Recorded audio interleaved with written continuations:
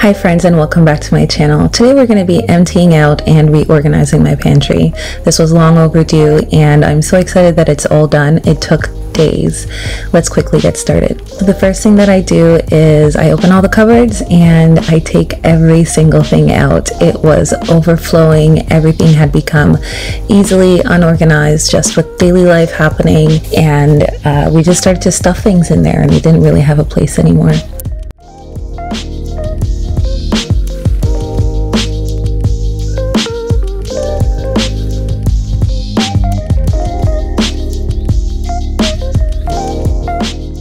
Next up, I grabbed some Lysol wipes and I wiped down all of the shelves.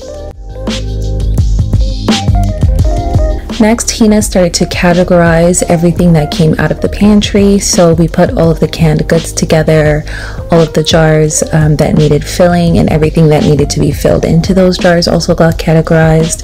And then we also made a point to categorize like our vitamins and medication. So everything got put into separate categories so that it would be easier to restock when we put them back in the pantry.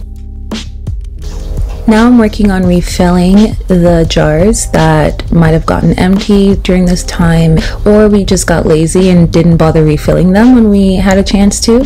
So I'm filling some breadcrumbs and peas and some pancake mix.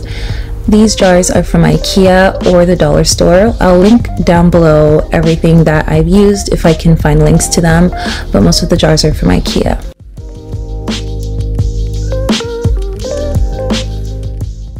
Next up I have these divided containers from the dollar store. They were too small to fit my vitamins so I took out one of the dividers and now they fit perfectly. These lovely baskets from Ikea I've used to organize late snacks. He loves his little snacks and we get the MadeGood bars for him in bulk from Costco. Now you see me starting to stock up the pantry again and you'll see this process change as I fill it up because I'm constantly looking for ways to create an organizational process that works for the family and so you might see things moved around a bit. So for late snacks, I put them on the higher shelf, but I realized that he couldn't reach it, so he came over to help me to put it on a shelf that worked for him. And now when he opens the pantry, he can find the things that he needs easily. Put the breakfast items on the top shelf, so cereals, pancake mix, and oatmeal. And then we have our pastas and peas As you can see, I'm shifting things around now to make it work.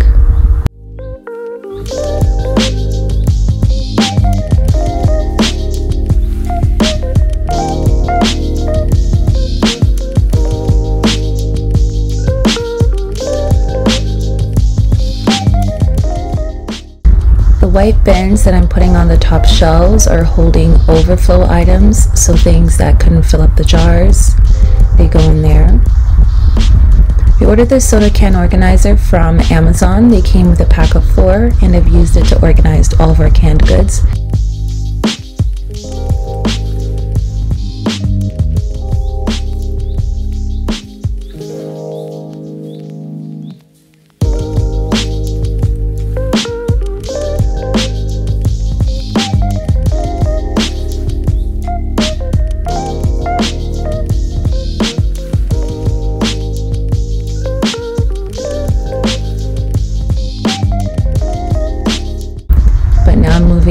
Overflow bins to the back so that I can put my vitamins uh, in the front so it's easy access for all of us to get to. Well, me and Hina. And the pantry is done. This is pretty much what it looks like. I hope you guys really enjoyed this video and I hope you got some inspiration for reorganizing a space in your home. Thank you guys so much for watching. Please do not forget to comment, rate, and subscribe, and I'll catch you in the next one.